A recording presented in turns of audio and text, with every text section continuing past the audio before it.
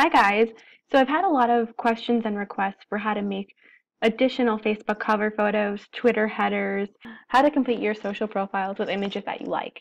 So this is the shared Google Drive. You can see right here it says the ROG Agent Social Media Resource Library and I clicked on Content Library and it brings me here.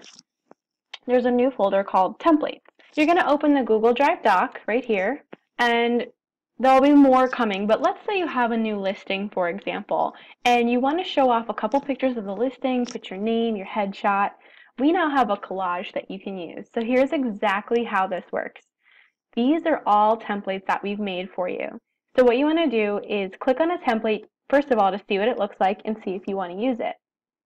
So right here, here's a pretty cool looking template for how to show off a couple pictures of a listing. So if this suits you, you're going to click Use this template.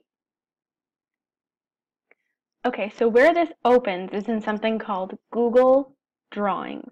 What you want to know is you can edit this, and I'll show you how, and it will never affect the template. So if someone else wants to use the template, it will always be hosted in the same place. It's a special Google Templates listing.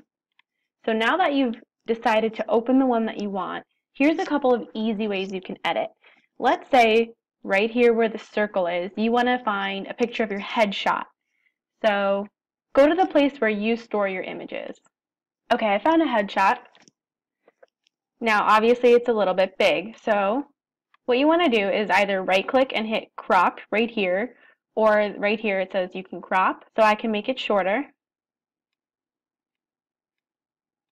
Then I can make it shorter this way too.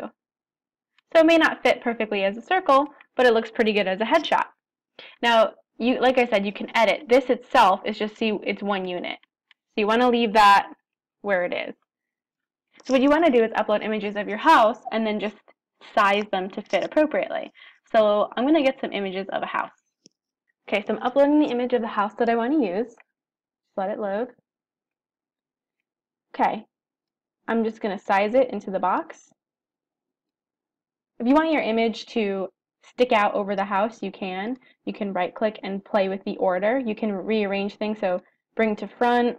So I happen to really like the way this looks. I think it looks really sharp. Now you can also add text. So here's a little text box. I want to write my name. So I'm writing it and I can't see it. What's happening? Select it. Aha, there it is. Change the color. So I want to do a custom color and this will be given to you, but I know that's the exact Realty One Group color. So it matches everything else. I'm just going to kind of play around with the placement. Perfect, I like that.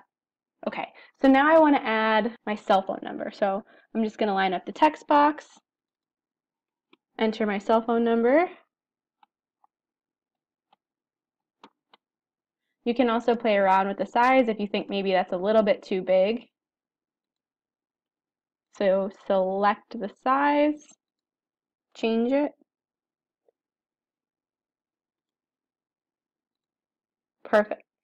So you can just duplicate this by pressing on your keyboard. You just highlight it like it's blue.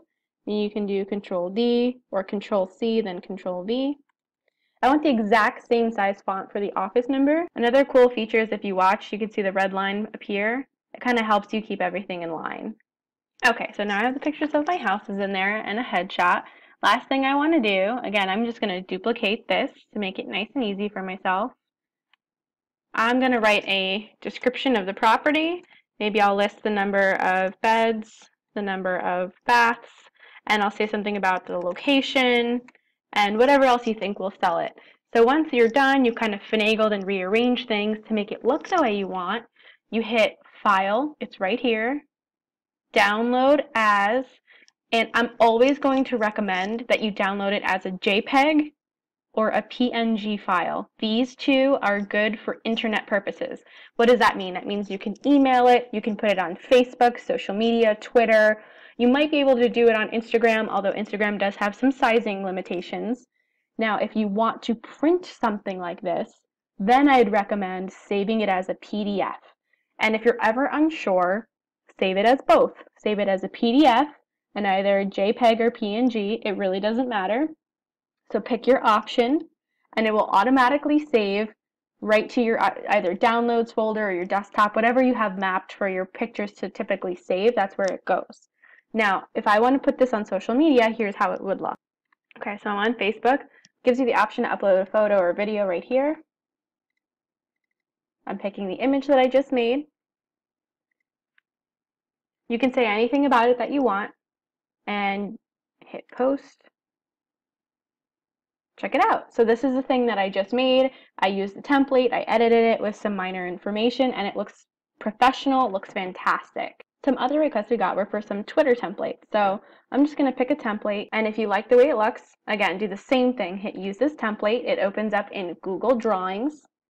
That's where you can edit it to add your phone number, name, pertinent information, just like we did before. So I would add a text box, for example, with my cell phone number, the name, the address is there, all the icons are there, everything's taken care of for you. Okay, so once you're on Twitter, click over to your profile, hit edit profile, change your header picture. So make sure you've saved it already. Download as PNG so that when you hit upload, it's right here and it's sized, it fits really well. You can hit apply and that will make the changes save. So again, make sure you come here. No need to copy or type or change anything that you see. All you need to do is click on any of the links to see what the template looks like. Download or click use this template if you like it. Make your minor changes and save it anywhere you need to save it. If you use the Google Drive to save your documents, great. If not, save it wherever makes the most sense for you. And you can expect in the next coming weeks and months that there's going to be lots more templates for you to use.